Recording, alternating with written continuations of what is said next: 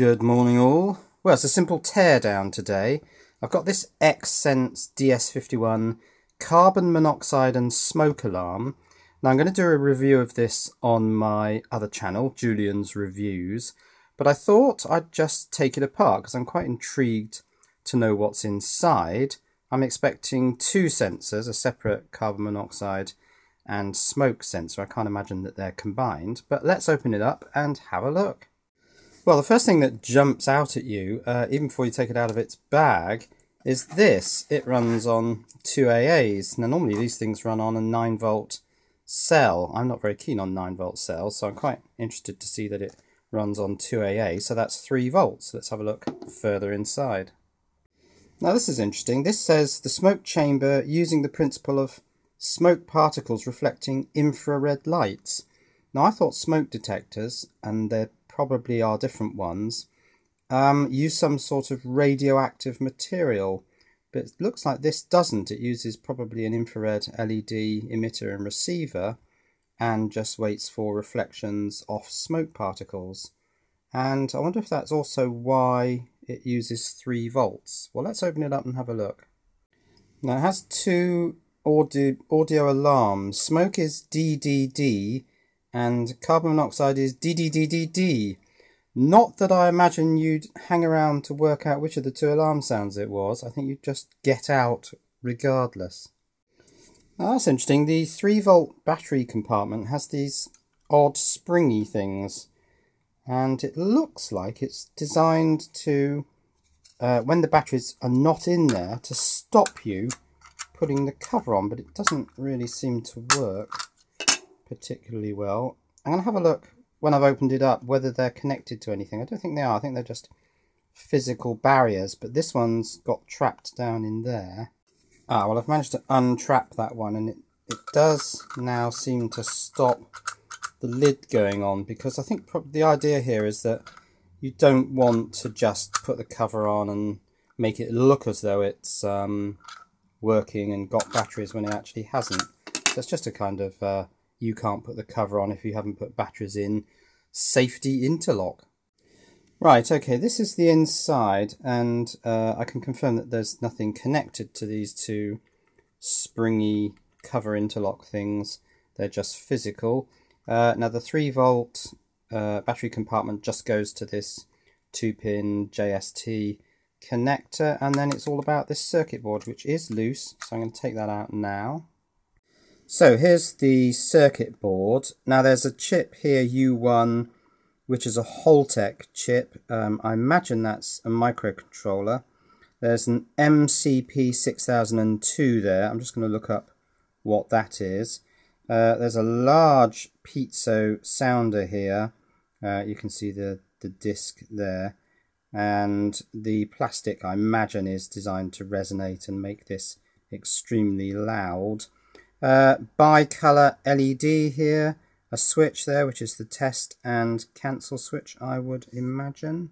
Yeah, during alarming status, short press the test and hush button. Then the detector goes into mute status. The LED keeps flashing red. Uh, yes, yeah, so the MCP6002 is a microchip, low power uh, dual op amp, I would imagine the 6002 is. And uh, the Holtek chip is indeed an 8-bit flash MCU with op-amps and comparators. So let's have a look at the sensors. Well, there are just these two. We have, uh, what's that say? A Winson or Winsen. Win sensor. Uh, oh, it's winsensor.com. What's the model of that? An ME2-CO. Uh, so yes, that's this thing. Uh, ME2CO works on the electrochemical principle, uh, electrochemical oxidization process of target gas on the working electrode. Uh, target gas are in direct proportion with its concentration while following the Faraday law. Hmm. It has strong anti-interference ability. Now it says low consumption there, but further down it's got a load resistance of 200 ohms, so it can't be on all the time. It must be switched on and off. And then we come to the smoke detector, which must be this thing here. Now there are no identifying marks on it at all, but it does look like it has this filter, this sort of, oh that's quite soft, this punched, uh, well plastic I assume it's now, I thought it was metal at first, uh, which looks like it's got a tongue locked in. Actually I think I should be able to yank that out quite easily, let's give that a go. Yeah, so that's come off quite easily. And then it's just sort of, well, a chamber with lots and lots of interesting holes. I'm going to have to take this top piece off. I wonder how easily that'll come off.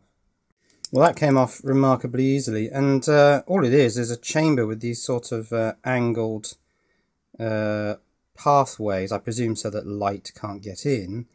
And then there's uh, an emitter there, or possibly that's the detector. And the other one is there, so they're at differing angles. And you can see on the underside, there are the connections for the one, uh, either diode or sensor, and there are the connections for the other one. So it's just a simple dark chamber. So I've just been reading the Wikipedia article on smoke detector, and it does seem that there are two types. We have the optical type here, with this sort of chamber and an emitter and a sensor. And then the other type is the ionization type. Now the optical type says uh, it's a light sensor. The components of the light sensor are a light source, light emitting diode, a photoelectric receiver, typically a photodiode. And the ionization smoke detector uses a radioisotope such as americium, americium 241 to produce ionization in air. A difference due to smoke is detected and an alarm is generated. Um, ionization, ionization detectors are more sensitive to the flaming stage of fires than optical detectors, while optical detectors are more sensitive to fires in their early smouldering stage.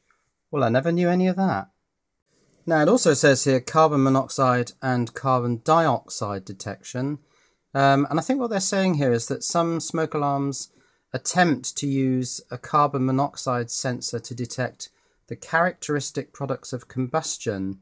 However, sensors react on a level that are dangerous for humans but not typical of a fire. So I think what they're trying to say here is that some sensors attempt to detect fires just through carbon monoxide, but this sensor uh, has the smoke detector as well. So it'll be interesting to uh, put this thing back together, attach it to the ceiling, and see whether it's as sensitive as our existing smoke detector, which seems to go off if you uh, make toast or fry bacon. So I'll put it next to that and just see how well it performs. And uh, as for battery life, I don't remember changing the 9 volt battery in our other smoke alarm, certainly not in the last five years, and it still works because it goes off repeatedly. Um, but it'll be interesting to see uh, how long this one lasts with its AA battery source. Anyway, that was a quick look at the uh, Sense smoke and carbon monoxide detector. Cheerio.